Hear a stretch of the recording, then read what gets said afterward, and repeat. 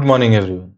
My name is Arslan and you are watching ProperTech tutorial and today we'll be dealing with a installation tutorial guide for Ultra ISO and I hope that you have found our videos, the tutorials, both the installation and the hands-on tutorials and one uh, few videos related to career and few videos related to smartphones tips and tricks useful.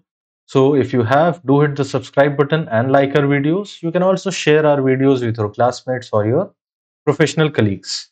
And to begin with, I'll just switch to this mode and we'll start with the installation.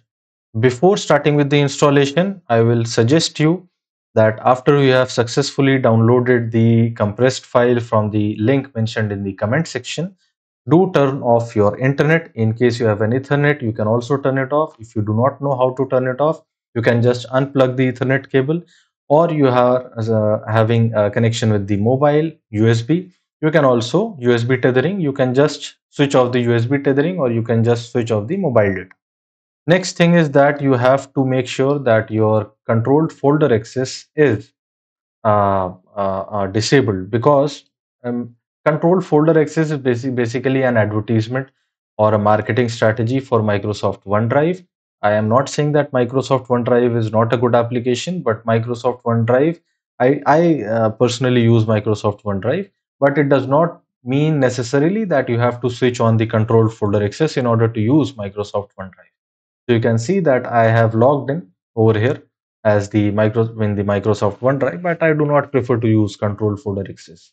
The reason is that it uh, interferes with installation even with the genuine softwares.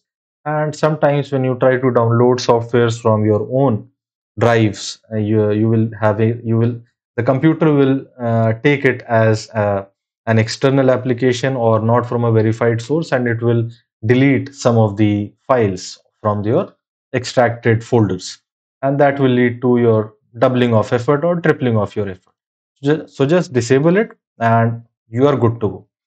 Next, I will open the compressed file that we have downloaded from our drive link. And I'll just click on right click on and extract to and the password will be 123. So password is 123 it will be 123 unless and until it is mentioned in any of the video explicitly. If it is not mentioned the password is always 123 okay you will open it and now you will see that there are three folders primarily. First is directx visual c and next is ultra iso so why are these two mentioned over here? Because ultra iso requires directx and visual c to be installed in your system. So how to know if you have installed it or you do not have it the thing is mentioned the steps is step is mentioned in the notepad file. You can just refer to that. And how to install in case you do not have that is also mentioned. So that is i am not going to show you how to install directx and visual c++ because that will take too much time both for uninstallation and installation. So i will just show you how to check if you have directx or visual c++ or not. So first for directx you will just have to go in the c drive Windows and in the folder Windows SXS. The search bar you will just type over here direct and you will see that DirectX, D, DirectX, graphics, etc. is installed. So this means that you have a working Windows and it is updated regularly and DirectX is something which is all which is automatically updated from your Windows update section okay and visual c is also updated in the update section but it is better to check that. So how do you check that? You can either go in the apps and features directly and click on enter or you can just go to control panel and go in the programs and features and you can search for the microsoft visual c plus plus redistributable. So for this we require visual c redistributable uh, uh, the basic version and another is 2015 and 22 so i have almost all the visual c++ that are required. So i do not need to follow this particular step. In case you do not have either of them just follow the corresponding steps and you are good to go. Coming back to the installation i will just open the folder real quick. So we are done with both of them. Now we'll switch to ultra iso that is the main motive of this video. I'll right click on it, extract to password is 123 click on enter and then I will open the folder. After that you will have two things. One is the file that is the exe application and another one is the crack folder. So first we have to right click on it run as administrator yes and I hope that I have mentioned that the uh, net the internet and the control folder access both should be disabled for all the installation whether it is DirectX, Visual C, etc etc and most importantly Ultra ISO, Siemens NX, Primavera etc. So just click on next, click on next, yes I would like to create the folder, next all the three should be checked and next and install it will get installed and then I will just uncheck the launch Ultra ISO because first I have to patch the Ultra ISO uh, C drive folder. I will click on finish. After that, I will open the crack folder, copy the keygen that is uh, right click on copy and then yeah, the scene is okay.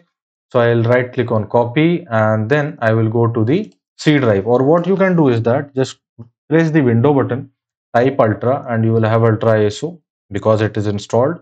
Open file location it is a shortcut. I will have to click on it again. Open file location ultra iso is, is over here i will right click on paste and this is paste yes replace and this is continue continue.